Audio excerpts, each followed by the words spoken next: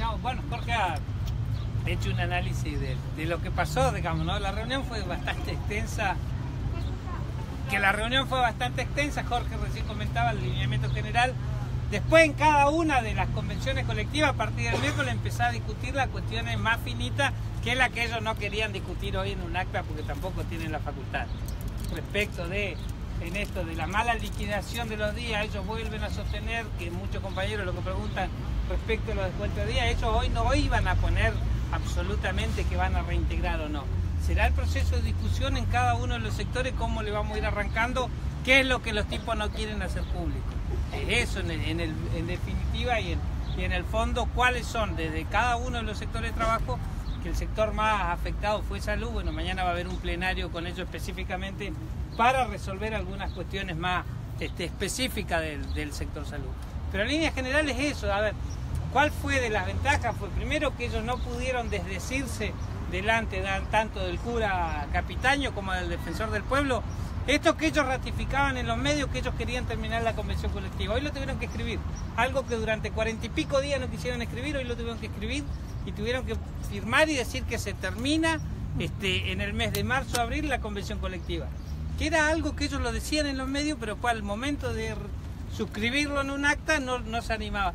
Bueno, hoy con, con la presencia del diputado Domínguez también se pudo clarificar algunas cuestiones que él se interiorizó antes de venir, caso de los brigadistas de incendio, que están aprobados en una convención colectiva y, Lara los contrata por la CORDE, por otro organismo que no es del Estado, pero es una cuestión totalmente irregular. Bueno, el compromiso de ir solucionando será a partir del miércoles en las distintas mesas paritarias donde vamos a ir resolviéndole las cuestiones que son específicas de los sectores.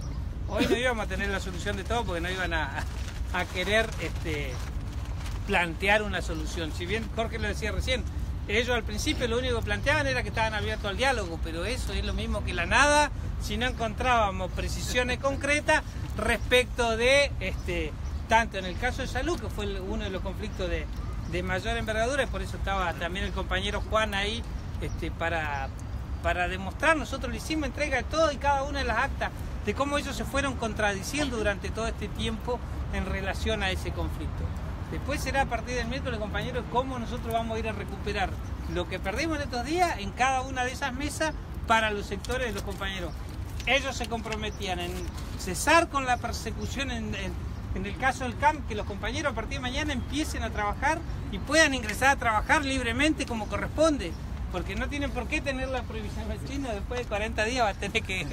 Este, va a poder ingresar a trabajar, porque si no, ¿cómo era? Ellos planteaban que nosotros cesemos con la protesta, pero ellos tenían que cesar con amedrentar a los compañeros los sectores de trabajo con la policía tanto el chino, bueno, varios compañeros que no podían ingresar al cambio y después le decían y le descontaban los días porque ellos no iban a trabajar si no te dejaban ingresar. Entonces, eso a partir de la firma del acta se tiene que normalizar en el CAM, nosotros lo íbamos a someter en la asamblea, dice el acta eso, pero sí empezar a transitar, sabemos que todos están cansados, mañana creo que pasó el aguinaldo, así que queremos tener celeridad en las liquidaciones también para ver si tenemos más descuentos cargados o no y que eso lo cesen ellos antes de la liquidación del, próximo salario. Sí, yo por último digo, o sea, por último en cuanto a lo que hace la información. Primero reafirmar esto que vimos todo y hoy quedó más claro que nunca. Una fuerte campaña por parte del gobierno de destruir lo que es la organización de los trabajadores estatales. Y esta unidad que había dentro de los compañeros estatales. Reivindicar la unidad interna de los trabajadores cuando ellos salen y nos dicen que los que están en la calle no son de ATE, no son estatales, con la composición de los compañeros, en la cuestión de la juventud que tenemos, es porque ellos intentan y eligieron la destrucción de nuestra organización y de nuestros sindicatos. Hoy también se lo dijimos. Si el problema para ellos es esa concepción que tienen del sindicato como herramienta que está en la calle, y reafirmamos más claro que nunca esta cuestión de si no hay balas, no hay piedra porque nosotros no vamos a renegar del proceso de resistencia que damos en la calle. Estamos convencidos, así como lo dijimos, cuando nos amenazan o nos plantean la cuestión judicial, le dijimos, no hay ningún problema. Vamos a ir a la justicia a defendernos porque nosotros llevamos adelante protesta social en representación de los trabajadores que estamos organizados. Ahora, ellos se van a tener que sentar en los banquillos porque son funcionarios corruptos y su, su hecho son de corrupción. Entonces no le tenemos miedo, por más que parezca una cuestión de unos y otros. Y también le planteamos que vayan y le digan al gobernador que ha salido por los medios públicos a decir que el problema de este conflicto eran dos dirigentes sindicales caprichosos y que aparte de caprichoso queríamos desestabilizar este gobierno. Que si ese gobernador tiene intenciones sobre poner la mano sobre nuestro sindicato, que lo esperamos en el 2019, que arme una lista y que venga a presentarse en contra de los trabajadores que nos organizamos para defender nuestros derechos. Así que yo creo, compañeros, que hoy, para mí, concretamente, esto es un triunfo de los trabajadores en función de que nos querían ver en la calle derrotados. Ese discurso de que nos van a echar al carajo, ese discurso de que nos van a meter presos, ese discurso de que no se puede pelear, se lo tuvieron que guardar. Y se lo tuvieron que guardar porque están ustedes, porque hay compañeros en el interior. Mientras nosotros estábamos acá, los compañeros del sur en San Martín se estaban manifestando en la residencia del ex gobernador Jorge Zapat, llevando su repudio. En cada plaza de esta provincia hubieron estatales que estuvieron en la calle resistiendo. Así como hubieron algunos que estuvieron en la oficina escondidos especulando, que esos que se quedaron en la oficina especulando algunos sectores, que vayan dentro de dos días a buscar el aguinaldo, más los dos mil pesos que seguimos defendiendo los que estuvimos en la calle bancando las balas y los gases.